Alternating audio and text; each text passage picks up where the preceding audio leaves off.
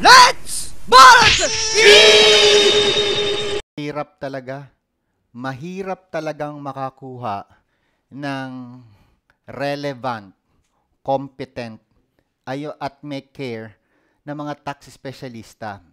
Ang dati hong tawag sa mga tax specialista ay tax consultant, CPA, auditor, accountant, bookkeeper.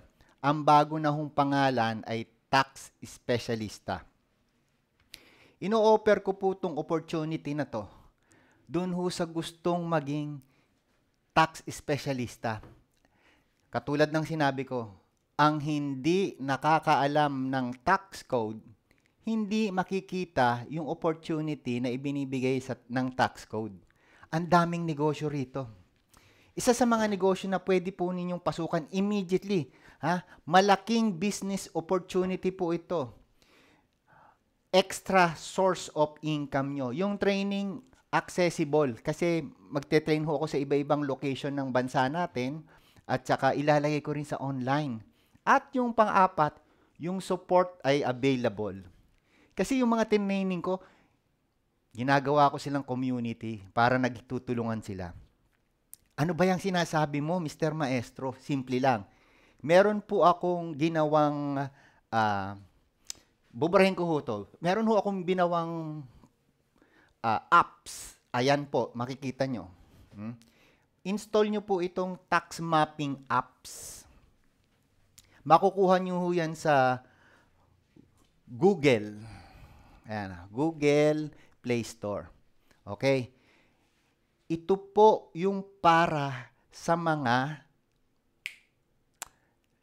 naghahanap ng tax specialista, nangangailangan po ng mga tutulong sa kanilang tax problems. Okay? Ito po yung i-download nyo sa inyong mobile. Okay. Ito naman, ito naman, ito to ah.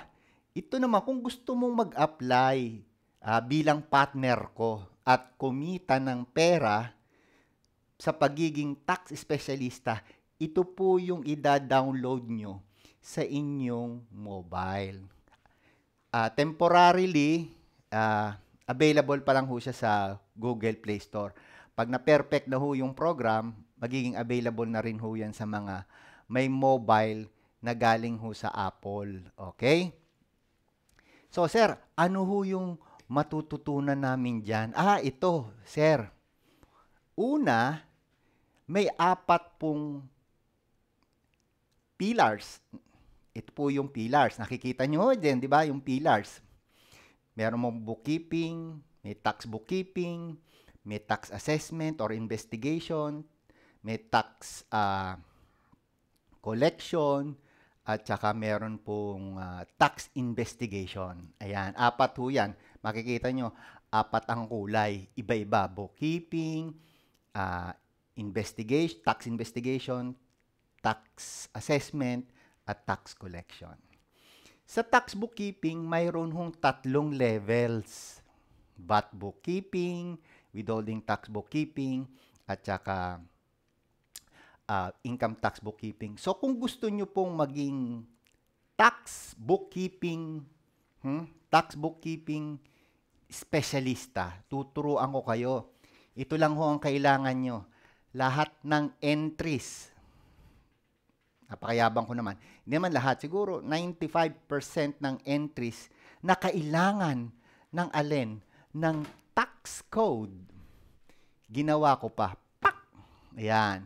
So, yung mga accountants, bookkeeper, ha, mamimili na lang ng entry. Bakit sir ginawa nyo? Kasi alam mo, ang mga accountant ng government, yung nagtatrabaho sa mga LGU, sa government agency, sa BIR, mga accountant dyan, hindi na nag-iisip ng entry. Kasi yung entry, pinipili na lang nila sa pamamagitan ng transaction. So, minamatch na yung transaction ha, dun sa available entry. Ayan. Ganon din po sa tax code. Hindi na ho kayo mag-iisip kasi sinabi ng tax code, siya na ho yung magbibigay ng entry sa inyo. Oh, available ho ito. Pag binili nyo ho ito, may kasama hong training at kontrata. sa kontratang SNPEL. I-google po ninyo kung anong ibig sabihin ng Study Now, Pay ETM Later. Lalabas na po yun. Next po is yung pong pagiging tax uh, investigation. Ayan. Sa tax investigation po, mga bossing, marami kayong choices. Ayan, no? makikita nyo. Ipa-flash ko. Puing! Ayan. Nakikita nyo ba yung choices nyo? May letter notice, may letter of authority, may benchmarking, may oplan kandado, may subpina duces tecum, at saka, ayan pa, kalimutan ko isa. Pagdating naman mo sa investigate, sa assessment, may notice for informal conference. Ayan, naka-plus sa, sa screen nyo. Notice for informal conference, preliminary assessment notice, uh, final assessment notice o formal letter of demand o at saka final decision on disputed assessment. Pag ang specialty nyo naman ay tax collection, ah, alam nyo po yung preliminary collection letter, final collection letter, warrant of distraint and levy, at warrant of garnishment. Lahat ho yan. Meron hong support group at meron hong uh, training. Of course, ah, may bayad ho yung training. Ang training po natin makukuha ninyo sa Taxation Professional University online o magmi-meet ho tayo. Nag-iikot nga ako sa buong Pilipinas. Ini-invite kita kahit OFW ka, kahit accountant ka, CPA, lawyer, bookkeeper, o kahit ano ang natapos mo. Basta't marunong ka lang mag-umintindi ng Ingles, sumulat sa Ingles, kahit na yung pagsasalita sa Ingles, okay na hindi mo kayang gawin. Basta yung dalawa, understanding English, reading English, and writing in English. Okay na ho yan kasi ganun ho ang labanan sa pagiging tax specialista. Marami hong tao na nangangailangan ng tax specialista. Ini-invite ko ho kayo na maging tax specialista para ho magkaroon ho kayo ng extra income. Hindi nyo kailangan mag-resign sa trabaho.